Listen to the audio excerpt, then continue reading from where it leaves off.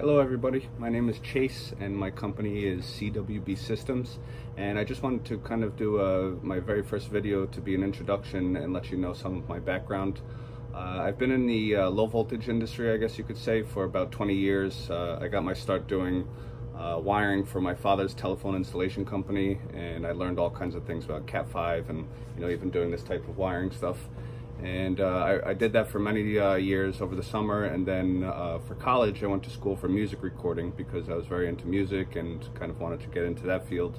After I got out of college I um, you know went into work into some studios and figured out that I didn't really like living in the studio environment for all that time so I just got a job to kind of get by which happened to be uh, being a driver for an AV installer and so I kind of liked it. It was uh, similar things to, that I was used to already with uh, you know learning electronics and running wires and stuff. So I picked that up pretty quickly and learned everything I could over a couple years. And then uh, at the time I got into bigger jobs like doing a whole Crestron automation systems.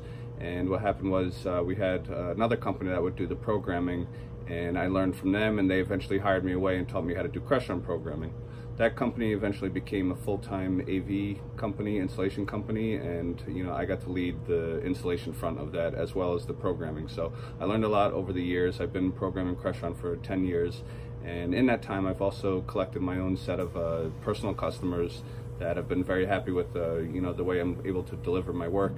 And so the reason I'm doing these videos, and this is my first one, I just want to introduce myself, is because I think I can share a lot of knowledge on very basic stuff for maybe the homeowner that wants to do some of the stuff themselves. Uh, you know, down from how to terminate a wire to what types of wires you should run in your house, and maybe some of the cooler, latest technologies. You know, a lot of people are using Sonos and you know the right cameras to use and the networking in your house. Um, there's a lot of stuff to decipher, so I think I could, um, you know, put out some good videos to help with that kind of information.